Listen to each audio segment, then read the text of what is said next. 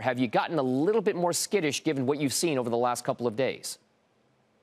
No, Dom. I mean, we had such a nice start to the year, and we have to remember stepping back. The long-term total return for the S&P 500 is 7.7%, and for fixed income, it's about 3%. So we're up comfortably above that level, and so it doesn't surprise me at all to start to see a little bit of a pause.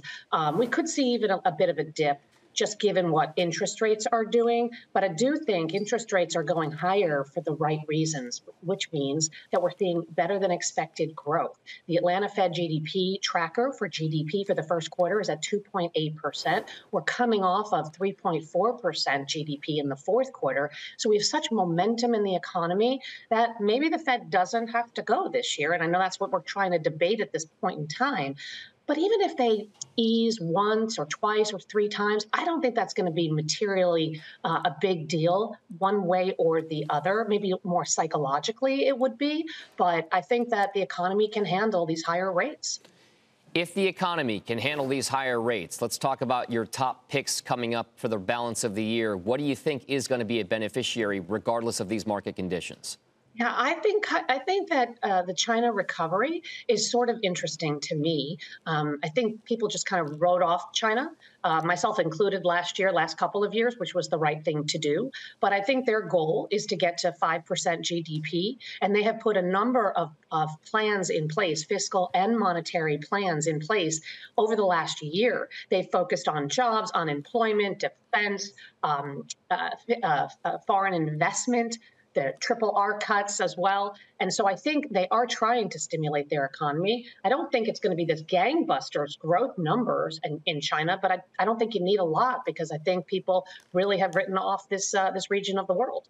If they've written it off, what's the best way to play it? Is there is it a direct play there, or is it a U.S. company with exposure there?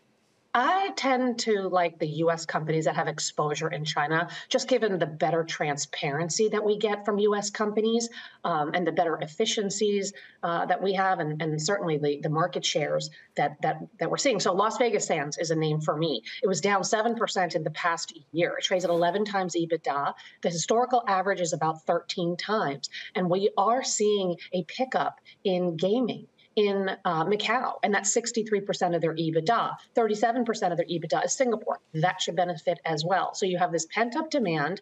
You have this company going from kind of this VIP focus to mass premium and mass in general. You have operating margins that are actually uh, going getting better than are better than expected. Rather, they're higher than expected, and I expect that to continue. You've got five billion dollars in cash, and they have a two billion dollar buyback. So I think this is kind of off the radar and I like it. Okay, so that's Las Vegas Sands, the top pick there. Let's talk about the under the radar plays. Uh, it, it's going to be China linked as well, right?